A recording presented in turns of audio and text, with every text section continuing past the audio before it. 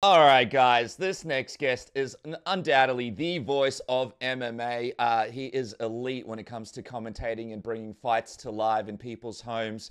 One of the men behind the Anik Florian podcast, which recently celebrated 500 episodes, by the way. Our good, uh, my good friend Jon Anik is on Submission Radio. Jon, thank you so much for taking the time to join us. Always a pleasure. I know sometimes our schedules don't align. I'm very much aligned with your Boston Celtics sweatshirt. and thank you for the shout out on the Anik Florian podcast. I don't know how many of those hundreds of episodes Kenny Florian was actually paid to do, but we're still trucking little engine that could. And, uh, you know, it's therapeutic for me to have that show after pay per views, to be sure. But it's always good to be with you, especially when you're wearing that Celtic Kelly green. Dude, uh, I love it. It's, it connects us, the Celtics green. There's nothing like it. The Olympics on right now. It's great to see the boys doing well in Australia, putting up a good fight as well. Let's get into the fights, though, man, because you're on the heels of another incredible commentating job uh, at UFC 304. I got to ask you, how does it feel to now sort of be able to look back on it and um, for Belal to be able to claim this gold after the long journey that he's had? And I suppose you, in a lot of ways, being able to witness the journey up close, but also, you know, through your podcast, through your conversations, through the relationship you guys have been able to build over all these years.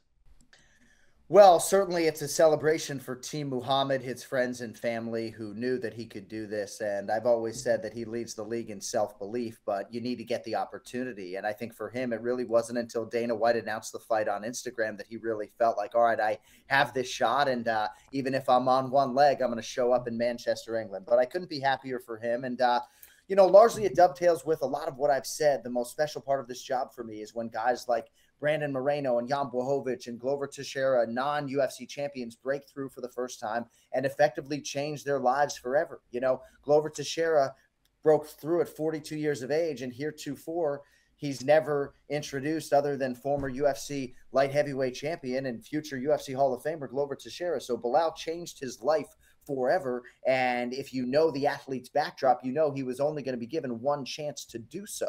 So with an entire country and all of the Palestinian Americans sort of on his back, he broke through and had a championship performance that uh, that is worthy of being the undisputed UFC welterweight champion. And if you look at the lineage of that title, a lot of big effing names, my man. And uh, you know, there's nothing interim about it. Belal is undisputed, and I think even Leon Edwards and his team would acknowledge that he deserves to be such as we sit here uh, in August of 2024.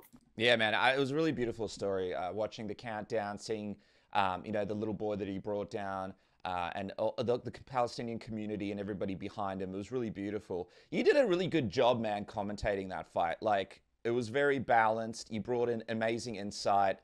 Um, I always feel lucky when I get a chance to watch you do your thing because you know you, you're just so great at it. But deep down inside, in your heart of hearts, what was going on in there as you saw Belal do what many people thought could not be done, and that is beat Leon Edwards as the rounds ticked on. What was going on in your brain and in your heart?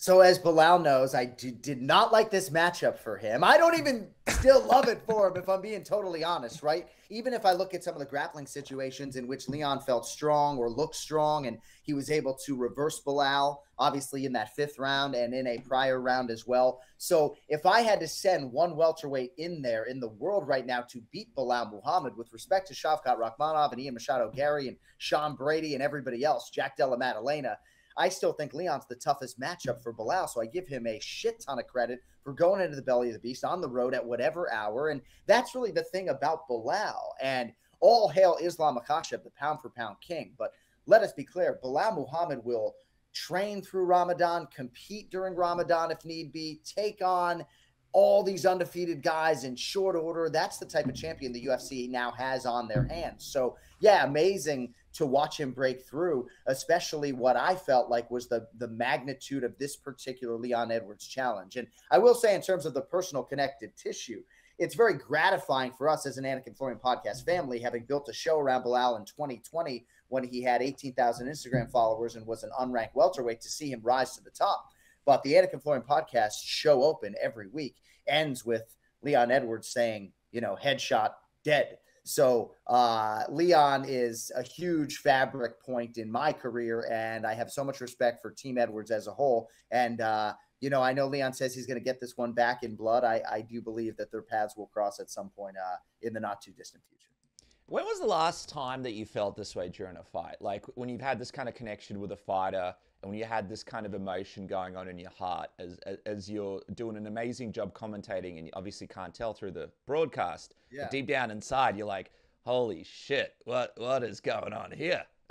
Well, they're all different. I mean, certainly when the athlete hits the tunnel, I try to remove a lot of that from the equation, right? Like if you look at the way I was, you know, sucking Jan Blachowicz's dick when he won the title, it's not dissimilar to the way I'm celebrating Belal Muhammad right now. I think people just fixate upon this because of his relationship with my twin brother. You know, yes, there's a lot of personal connection there. Yes, Belal is like family, but once he hits that tunnel, that relationship is thrown out the window. And am I as close with Belal as someone like Dominick Cruz? No. So having had to call Dominick Cruz fights, that's a unique challenge as well. This one just had a lot of interpersonal to it because of my twin brother. But uh, you know, I do believe I'm able to compartmentalize and throw those things out and uh, objectively call these fights. And uh, you can be sure, you know, the day that I'm not able to do so, I'll get a call from Craig Borsari, my boss, or Zach Candido, one of my other bosses, or Dana White will get word to me in an indirect way. So uh,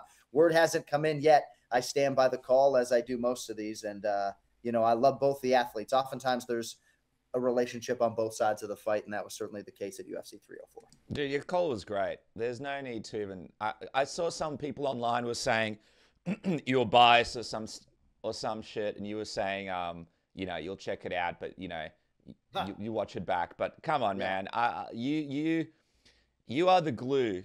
I think uh, in MMA commentary, I have to pay you a compliment, man. You are the glue that makes uh, combinations work, teams work, and brings things to life. So you did an incredible job yet again. And I don't know how you do it in the middle of the morning at five in the morning in England, but uh, you did. You pulled it off, and you did an incredible job doing that. Now, speaking of Belal as champion, though, what do you? Yeah. What are what are some of the matchups that you're most excited about? during this Belal reign over the welterweight division? Couple of fights you so, can mention for me.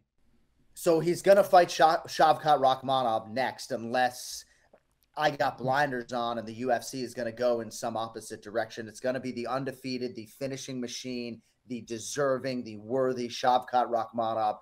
He's all the rage with the fan base, as you know. You know, he brought me chocolates from Kazakhstan. He's a super humble genuine guy, and that sort of transcends the language barrier. That says nothing of how great a fighter and potential champion he could be. I think before mid November for Belal uh, is, is just way too idealistic and ambitious. But beyond that, I felt like maybe depending on the Leon Belal result, you could do Shavkat Rakhmonov against Ian Machado Garry. I think that fight is probably on hold. I think Ian Machado Garry potentially waiting in the wings. If Sean Brady is able to get past Gilbert Durinho Burns, his name could be called in the not too distant future. The Belal result was huge for Sean Brady, the man who took his O. I think Jack Della Maddalena is going to factor prominently in this equation. He's on the men right now. It's very exciting.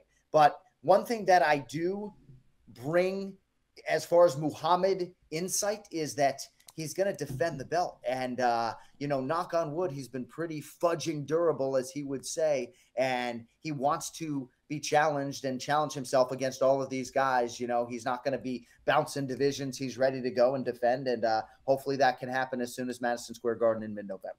What do you think is it about his skill set that fans are kind of like, I feel like sometimes people underplay his skill set, right? Like they, uh, he, he's a constant sort of underdog to a lot of people, or they can't really get behind what he brings into the octagon. What is something that they're missing here that you believe is going to keep that belt around his waist for a long, lot longer than what people are thinking? Thank you for asking the question about the mixed martial arts because it's his jab, it's his boxing, it's his wrestling, it's his commitment in totality to the cause and mixed martial arts improvement. Not really unlike Alex Pereira, who really has been focused on skill development in a short amount of time. I mean, think about what Belal Muhammad was able to do with the 15 months between the Gilbert Burns fight and the fight against Leon Edwards. Just amazing skill development. But yeah, I mean, I think you see a strength and conditioning commitment that allows him to have this wrestling based pressure style. You see a lot of nuances to his takedown game, not unlike a Khabib Nurmagomedov or an Islam Makhachev.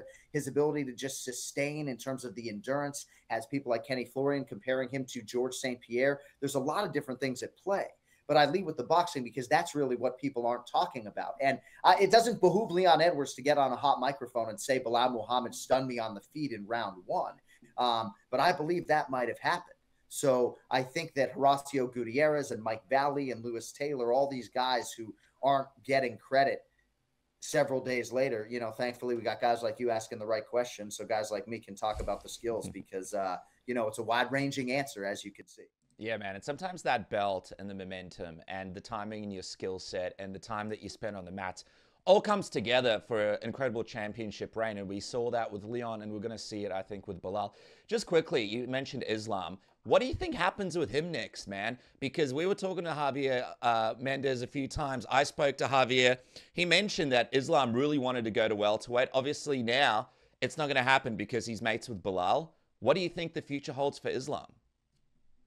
Well, a title defense against Arman Tsarukyan, which at least from my vantage point sounds like no picnic. But gosh, man, like I don't know that any performance in 2024 is going to top what Islam Makhachev was able to do against Dustin Poirier, right? Mm. Championship on the line, potentially getting that takedown and that submission against that dude in that round. What else can you say? Uh, speaking of his team, though, man, I want to look look at Umar for a second because that guy had an incredible performance against Corey Sandhagen.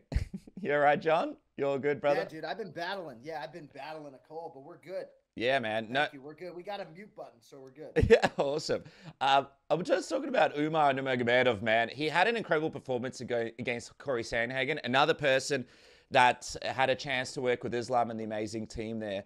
Got to get your thoughts, man. What did you make of this incredible performance from Umar? We saw some uh, some wrinkles in the striking there as well. Some nice, nice uh, new uh, little wrinkles in his skill set.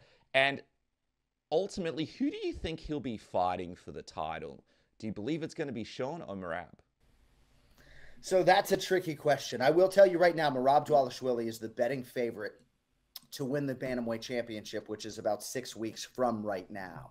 So as the guy who's calling the fight, I can't give you the direct answer to that question, but I will take you to something that Corey Sandhagen said on the Anik & Florian podcast this week. You know, he just doesn't expect that Merab is going to be able to like dominate Sean or get him out of there quickly. Umar is like one of the most impressive human beings, fighters that I've met in any walk of life, right? His ability to connect with people in English already is insane relative to what it was like 24 months ago. And he's always banging on himself in terms of his ability to speak English. He's fantastic. Uh, he'll be favored against Sean or Merab. I feel pretty convicted in saying that.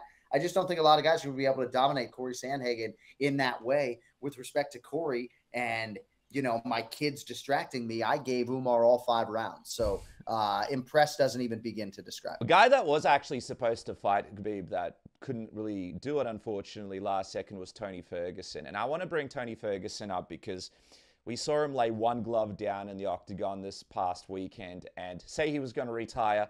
He then went onto the UFC uh, post-fight thing and said that he has work to do, so he's not retiring. But um, I just want to go uh, talk about Tony Ferguson for two secs. First off, if that Khabib fight would have happened with the Tony, that version of Tony Ferguson back then, do you think Tony could have been the one to take that to take that record from Khabib? Great question. You always bring the hard hitting questions, and far be it from me to suggest that he couldn't. And I could give you some long winded ans- answer thereafter, but these guys, as your listenership likely knows, were booked to fight five times 15, 16, 17, 18, 20 right? 2015, 16, 17, 18, 20. It never happened. Yes, I think a prime Tony Ferguson presents a lot of different problems to Khabib Nurmagomedov, but answering that question in 2024 is a little bit harder to do when you look at the uh, the rainbow colored nature of Tony Ferguson's Wikipedia page, bro. I mean, it is indeed crazy to see 12 green stripes followed by eight red stripes. And I do hope that we just put Tony Ferguson in the Hall of Fame. And I know every individual case is hard to judge, especially when it comes to the way the UFC Hall of Fame works. I've hosted the Hall of Fame ceremony 13 years. It's a little clunky. But uh, yeah, I think that's the direction with Tony is put him in the Hall of Fame, and uh, I just don't know that there's really any fight at 55 or 70 that the UFC is going to have some huge appetite to make right now. All right, guys, before we continue in the interview, I have a sponsorship announcement that you're going to want to hear, and that is with our friends from Manscaped who are offering you 20% off and free shipping right now with the code word submission. Listen to me. I know Submission Radio has you sorted when it comes to your MMA coverage, but these guys have you sorted when it comes to your ball coverage. The Lawnmower 5.0 Ultra is an absolute game changer. It comes with two interchangeable skin safe blade heads, so you can choose between a precise trim or a smooth finish. And did I mention that it is water waterproof. Yes, you can trim in the shower and avoid making a mess everywhere. It's perfect for those of us who appreciate efficiency. And let's talk about the beard hedger just quickly. Whether you're going for a neat stubble or a full on lumberjack look, this trimmer has you covered. It features a titanium coated stainless steel T blade and 20 length options. You can achieve any style you want with just a twist of the zoom wheel. The Lawnmower 5.0 Ultra always ensures that you're looking your best below the waist while the beard hedger takes care of everything else. 20% off and code word submission now, plus free shipping. Now back to the program. Yeah, it's a hard one, right? Because with Tony, he's the guy that literally bled for the UFC. Um, you know, during COVID times, he had that fight with Justin Gaethje, and he just kind of made stuff happen for the organization. And now he's in this position where, you know, like he's like, I'm not retiring. Like, I don't want to retire. I want to keep fighting. But at the same time, obviously, and we saw this against Mike Chiesa, and we've seen this in his previous fights, he's not quite the same fighter. And it's a position where you just don't want to see him take that kind of damage because you and me have both been in the gyms. We've both met guys that have taken too much damage, and it's really hard to see those guys over the you know next few years in their life. So I wonder is is it like a, a foot down situation where you know Tony just does not get another fight in the UFC in your opinion, or do you just because of everything that he's done for the organization, do you just let him ride it out? What do you think? What do you think is the right sort of move with Tony next? Because he's such a legend in the sport, but at the same time, people don't want to see him get damaged, you know, and people don't want to see him get hurt in that octagon. So as we're talking, if you saw me look down at my phone, I was googling Joe Lauzon to make sure that he never fought Tony Ferguson because as as I sit here and think about opponents that might make sense for Tony to try to realize some sort of success, Joe Lauzon still has fights left on his contract and for whatever reason hasn't competed. But I think that fight makes some sense. The first fighter at 155 pounds, what I think is the toughest division, to put a double digit winning streak on paper.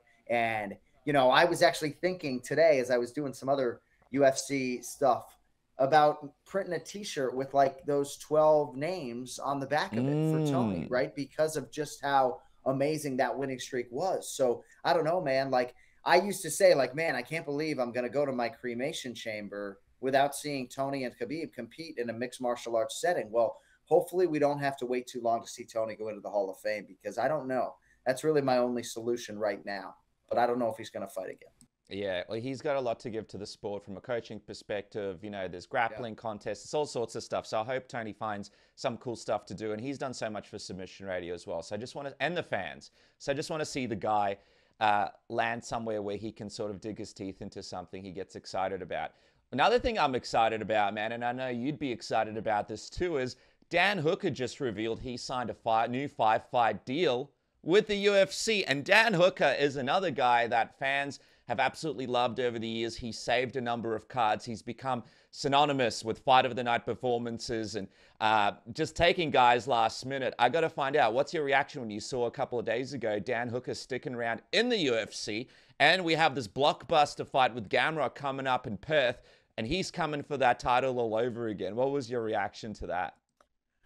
I love Dan Hooker, man. You know, sometimes it's hard for me to sort of bury the MMA fan. I know Joe Rogan suggests that we are professional fans, but you know, if Dan Hooker's not my favorite fighter as we sit here in 2024, he's pretty close. And a lot of the, that just has to do with uh, listening to him talk. Obviously, his fighting style is tremendous, but I've had a firsthand look at the way he interacts with fans, the way he resonates with fans he's had a lot of one liners, of course, over the years that uh, just a scratch or whatever it is that fans can sort of latch upon.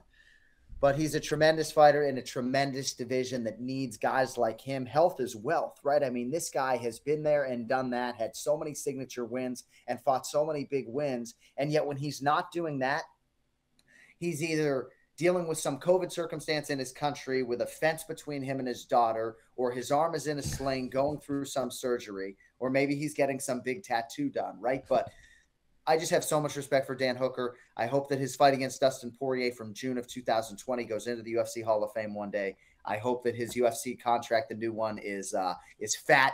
I would imagine it is, and uh, he's breaking it in only in the way Dan Hooker would with a very difficult matchup against Mateusz Gamrot. So I tip my hat to uh, the Hangman Dan. And not only that, a matchup that he wanted. He's been chasing Gamrot for a while. The, yeah. the boogeyman of the division that nobody wants to face. Yeah, he doesn't right. want an easy matchup and he wants that title. So I can't wait for Perth. Just quickly before we wrap up, Jon, as well. You obviously can't give a prediction on this one because you'll likely be on the call, but how big of a fight is this DDP versus Israel fight that's going to be headlining UFC 305 from your perspective? Because I think there's a lot of questions to be answered here, a lot more than just a title on the line. Israel's coming back after this fight with uh, Sean Strickland and Sydney, and I think there's a lot for him to show. He looks like he's hungrier than ever. Dan Hooker actually told me that he can't even be bothered sparring Israel at the moment because he's such a beast and in the gym. His strength and conditioning videos and the fact that he's coming for heads and not titles, it's just a different Israel. And then you've got DDP, and DDP is a guy that is just going to come at you. He's do, he, he knows Israel sets traps. He knows Israel is one of the best counter strikers that's ever fought in not MMA, kickboxing, combat sports in general. He's going to be coming for him, and he wants to prove that that title around his waist makes him one of the best middleweight champions of all time with a win over Robert Whitaker already and a stoppage over Robert Whitaker already, which is incredible. So for you, this main event, man, what does it signify? Because there's just so much significance going into this one in Perth. Dude, what do I need to add? You laid it out beautifully. So I was going to sort of lead with at least what I perceive to be this sort of heightened focus and approach and discipline that we're seeing from Israel Adesanya. Obviously, Dan Hooker uh, is giving you a firsthand account of that. So, yeah, not a guy that I would be trying to piss off nor give extra motivation to. Now, that's just the nature, I think, of MMA and a lot of championship level athletes would tell you that if you need that extra motivation at that level, then uh, you know maybe you should find a different sport. But my gosh, you can be sure that this has unleashed the best type of beast when it comes to Adesanya's preparation. And yeah, on the other side, he's fighting a dude who's just like a truck and not a human being who just seemingly won't be denied because maybe he's more like machine than man, you know? Du Plessis is a fascinating champion. I also think that the nature of this matchup is going to have him just completely locked in. I'm getting excited just talking to you about it. This is the first time I'm really talking about UFC 305. So when you set it up, I'm just uh, getting all this energy. I think as far away as Perth may be from South Florida, which is where I am right now, and it's as far as I can go. It's the hottest ticket when we go there in UFC history. Every time we go, it was the last time we were there, and uh, it might get topped by the Sphere a month later, but barely. So it's just going to be an electric MMA atmosphere when you have an MMA championship matchup like this with friction and skill upon skill. Uh, just doesn't get any better. You know that. You'll be in the building. Yeah, man. Well, I can't wait to hear you bring, you know, some color to this thing and put put your voice over it and tell us the journey and the story. Uh, RAC Arena is going to blow off its roof when they see these guys go in. And of course, guys, one of the best in the in the business, Jon Anik. Uh, thank you so much for your time, dude. I know how busy you are with the kids and you have some rare time off. Make sure to follow Jon at Jon underscore Anik and of course the Anik Florian pod. One of the best pods in the game, man. And I know how hard it is to keep these pods going. You guys always put out an incredible product. I really appreciate all the effort and and, and the skill that goes into uh, the stuff that you guys have been putting out, man. Thank you so much for joining me. It really means a lot. Right back at you, buddy. Always good to chop it up with you. I know sometimes our schedules and time zones make it tricky, but pleasure's on this side of the cameraman, and uh, we'll do it again soon.